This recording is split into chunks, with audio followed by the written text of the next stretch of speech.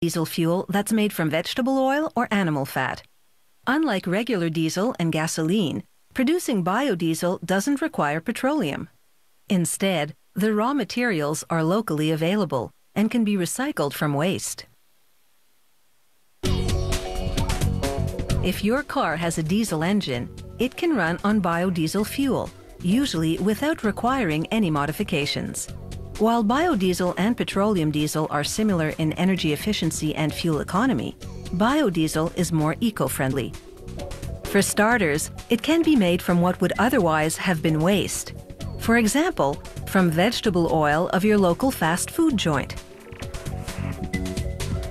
The restaurant simply discards its used fryer oil in a receptacle out back.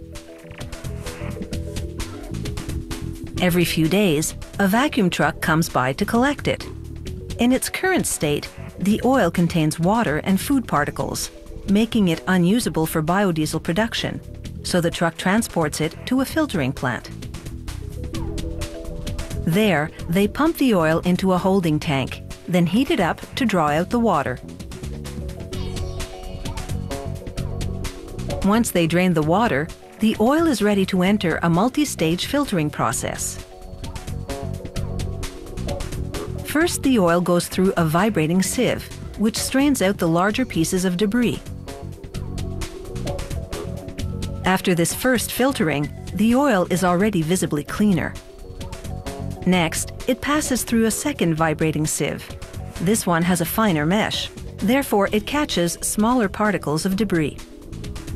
After the second stage, the oil looks clean, but still contains microscopic debris. So it enters the third and final filtering stage, passing through 20 ultrafine filter cloths, which trap any particles larger than one micron in size. A micron is about 80 times smaller than the width of a human hair. The captured debris leaves a muddy residue on the filters. That vegetable oil which once deep fried potatoes is now ready to cook up some diesel fuel. Another source of oil for making biodiesel is beef tallow, oil derived from cow fat. Biodiesel producers typically buy tallow from facilities like this one, which specialize in cleaning cow hides for leather tanneries. Sharp revolving blades shear off the fat from the back of the hide. The fat drops onto a conveyor, which moves it into a steam injection cook tank. The tank heats the fat to a gentle boil, extracting the oil. Everything else leaves the tank and drops into a waste container. The oil moves onward, passing through a two-stage filtration process.